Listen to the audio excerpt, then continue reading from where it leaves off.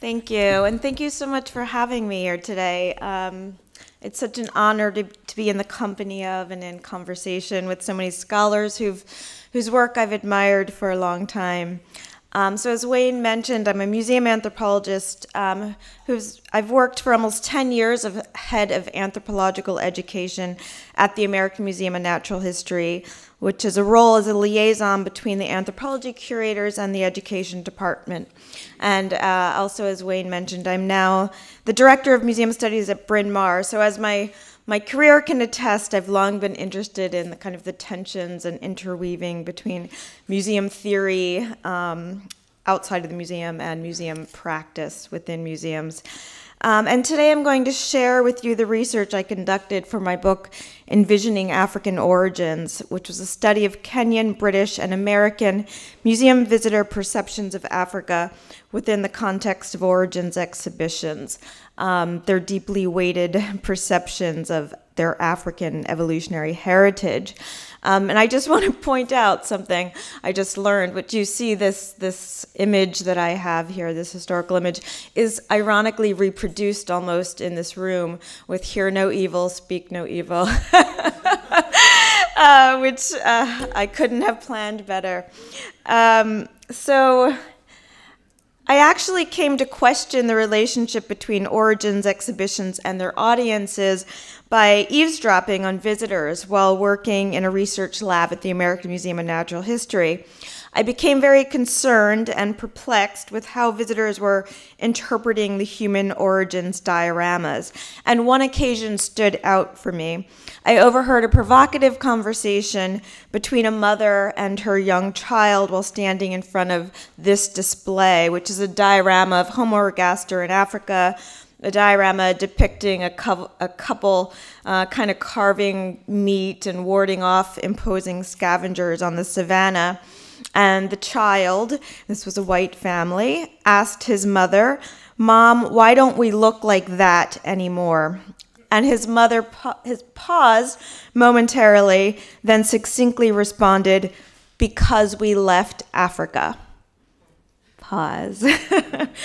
um, so, this dubious rationale took hold of me and inspired a chain of questions. What exactly happens when visitors encounter such provocative representations of human origins in museums? How do they make sense of them and integrate them into their identities? And what set of tools, whether pop cultural, intellectual, religious, racial, political, what have you, do visitors bring with them to exhibitions? and how do these things interact with what is being given to them. And so this is fundamentally where my interests lie the cross pollination between museums and other forms of enculturation. And in my experience, museums often try to insulate themselves um, from other media without addressing how influential the cultural stories external to the museum are to visitors' understanding of museum exhibitions, particularly stories that influence perceptions of visitors' own identity, uh, heritage, and ancestry. So, before getting into some of the findings of my research with visitors, uh, visitors' own comments, I'd like to take a moment to consider uh, what contributes to the evolutionary image of Africa in the popular imagination. One example, um, and this is a photo of a South African Kung San man, um, which accompanied a Condé Nast Traveler article, which began, quote, as a species, we grew up and moved on. And if your particular adaptation is to be able to plan the future and remember the past, then getting out of the Kalahari will be something of a priority. Run, don't walk. In a blink of 10,000 years, you can be in downtown Manhattan with air conditioning and internet pizza delivery. But some people stayed behind.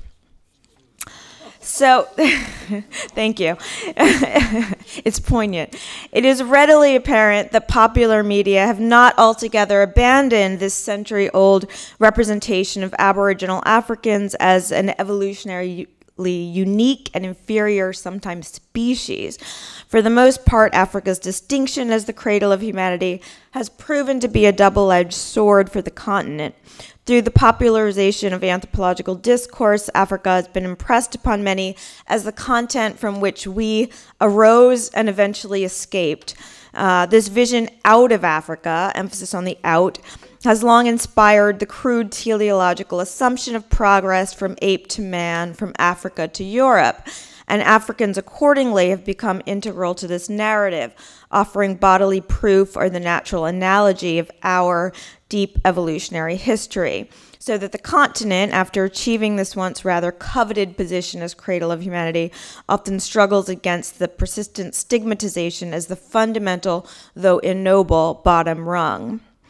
And of course, we have to bear in mind the important historical work of images of Africa in the museum and in anthropology. And I'm sure uh, with this audience, many of you are quite aware of this history um, this powerful convergence in the late 19th, early 20th century uh, museum of racial hierarchies that emphasize the visual and the seeming authentication of such images through anthropological science. So on the left is this um, 1868 Ladder of Progress by the influential American polygenist Nott Gliddon uh, with the Negro jaw artificially exaggerated. Um, as you can see, there's one behind here which is quite similar um, to that representation. And in the middle, you can see a very early scientific reconstruction, clearly calling upon black features. And this was a reconstruction according to Haeckel uh, in 1887.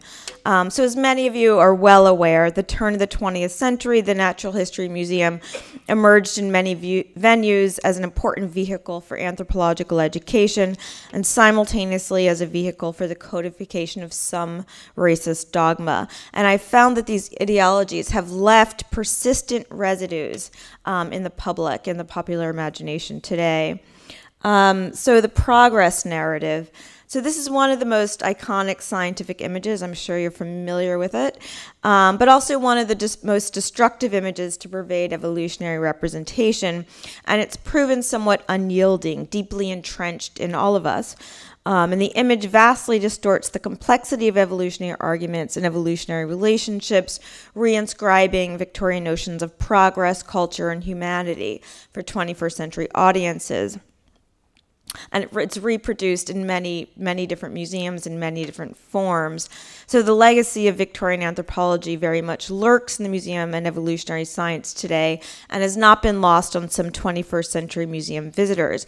Because of the chronological layout of most human origins exhibits misconceptions of linear sequential human origins predominate among museum audiences Museum exhibits then serve to reinforce conventional evolutionary iconography, such as chains of being and ladders of progress, that often extend from Africa to Europe, with Europe as the one singular representation of modern humanity. Uh, Europe at the apex of human evolution. So it's almost as if Africa is the cradle of humanity, but Europe is the finishing school.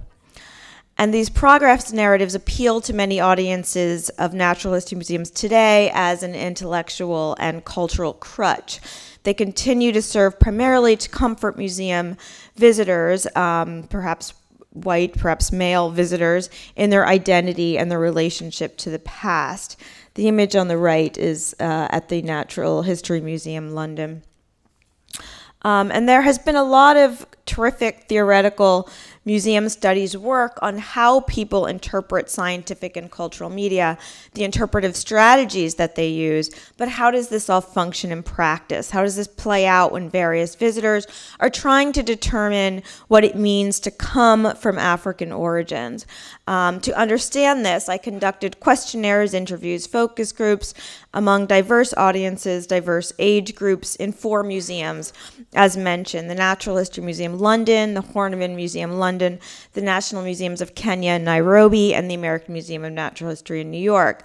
And my overarching finding uh, is one that I didn't set out to explore, but became the most significant finding nonetheless, especially for those of us working in museum studies. It's simply that the way museum visitors experience human origins exhibitions are profoundly, exceedingly complex. And I know it's okay to sort of smirk here. Um, sure, that seems obvious. Um, but the ways that museum visitors construct perceptions of African origins and the ways that they communicate um, these perceptions are knotty. This is a dense, meaning making atmosphere, the convergence of intellectual, emotional, and cultural networks of meaning that audiences reconcile as they confront these evolutionary images and share their opinions. Um, and more specifically, first, as suggested, I found that visitor perceptions are shaped heavily by what they bring with them into the museum. A dizzying kaleidoscope of signification from pop cultural influences like National Geographic photos, mentioned again and again, Sports Illustrated covers, films like Planet of the Apes, uh, not to mention previous schooling, museum visits, religious beliefs, family folklore about race. Uh, you name it, it was there. Uh, second, among the images visitors bring with them to the museum um, was this notion of evolutionary progress um, from an evolutionarily inferior Africa. Um, and lastly, I did indeed find that visitors of African descent do represent a unique interpretive community, sometimes seeing both the science of human evolution and the museum itself through unique and strained lenses. And um, of course, I can only give you a crude glimpse here, um, a sampling of my, my analysis and the range of visitor comments, but a few highlights. Um, so, a few representative comments of how audiences bring racially encoded progress narratives. A Horniman Museum visitor's questionnaire response, which mirrored several others, revealed her racial misconceptions as well as its roots. She believes African ape men are ancestors because, quote, it is what I've been told at school. Also, if you look to a colored person, their faces have more similarities to hominids than us. And she did say this to me. And as a side, I became very interested in probing the dynamics of the of the interview space, my own identity. Um, one visitor revealed some of his own preconceived assumptions when answering the question, Do you think of African ape men as ancestors? He responded, You know, one of these programs that I was watching said that there was a tribe in Africa that still lives, how would we call it, primitively.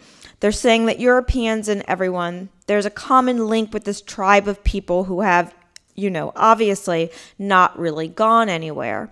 So here, television is vaguely invoked in response to the question rather than the museum exhibit he just experienced. Um, and I witnessed these types of associations with things seen on television again and again uh, while working at the American Museum of Natural History, even while just passing through the African people's dioramas on the way to my office. Another example of racial misconceptions being internalized at this time by a black Jamaican visitor to the Natural History Museum in London he explained that he believed African ape men were ancestors, quote, because we as Africans possess hair texture unique to animals of far different quality than European hair. Finally, one American visitor to the Natural History Museum expressed his difficulty envisioning Africa as the cradle of humanity by explaining, No, I think Africa's status as a third world continent overshadows the role it played in the development of mankind. So comments like these reveal a conflation of Africa and African people of today with the Africa of the past, a misunderstanding of the deep scale of evolutionary time and the complexity of modern human diversity. And it does seem as though the years of kind of stereotypical images of a static primitive Africa have left an indelible mark on the popular imagination. Um, and lastly, I'll talk a little bit about um, my work at the, with audiences of, of African descent. Um, so those who identify culturally with the African continent, such as Kenyan, African American, or Afro British visitors, often had unique relationships to displays of African origins, at once intimately connected to, yet alienated by origins narratives that begin in Africa and end in Europe. So, black interviewees often identified with Africa not only as the cradle of humanity um, and an important site of cultural heritage as well, um, but there were many more acutely critical or politicized responses regarding the museum and science from black audiences. So, among audiences at all the museums, black visitors were more likely to initiate discussions with me regarding the racial implications of exhibitions. Occasionally, these in, these interviewees um, subverted the conventional up from Africa evolutionary progress narrative.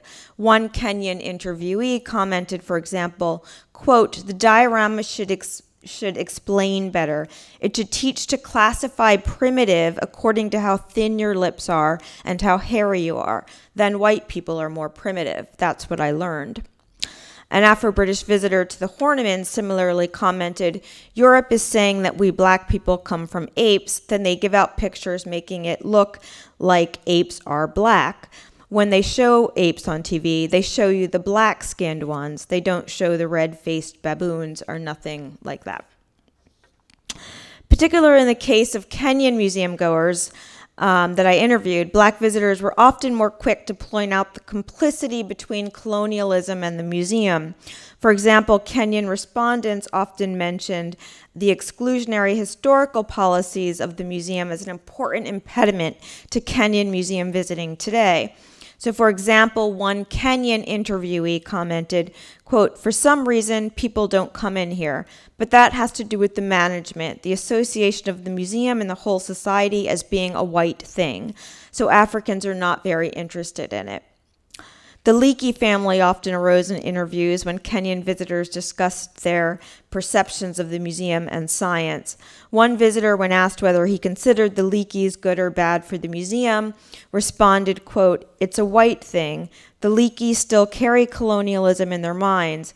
They wish it would go back, and they're not willing to admit their mistakes. They would never admit it, so that really puts me off. Museums are part of that cycle, and they're still, in a way, promoting it, probably unconsciously. So, certainly, some Kenyan visitors' experience at the National Museums of Kenya are strongly strained by preconceived notions of the museum and its politics. Um, also note that at the museum, I interviewed museum curators and leaders, including Richard um, and Meave Leakey, as well as tour guides, security guides, educators, trying to get a full kind of sense or ethnography of how the museum works. Um, and bear in mind that in addition to the more straightforward racialized readings, I did encounter many negotiated responses among black audiences, are responses that re reveal the way that museum visitors belong to many shifting communities. Um, so, museum visitor's, quote, racial or cultural readings might be complicated by their identity as a cosmopolitan museum visiting class. Um, and so, obviously, there are multiple ways that museum um, visitors can read museums and museum exhibits. No one visitor belongs to his or her cultural community alone. Um, but I think museums, particularly museum exhibitions of anthropology um, and human origins, are no doubt places where there's a negotiation of shifting identities, shifting communities. Um, and I'd like to close with a powerful comment I received from one visitor. Um, one Kenyan interviewee shrewdly commented when I asked him as to one display's meaning, a diorama. He, he said, quote, meanings are in people. This couldn't have been better stated. So while museum visitors learn some new ideas from human origins exhibits, they also bring some of themselves and some powerful preconceived images to bear upon what they see. But visitor preconceptions do not lessen the responsibility ability of the Natural History Museum as interventionist. Um, in fact, I think it places a greater burden on museums to relay more challenging and conscientious representations of our evolutionary and cultural heritage. Thank you.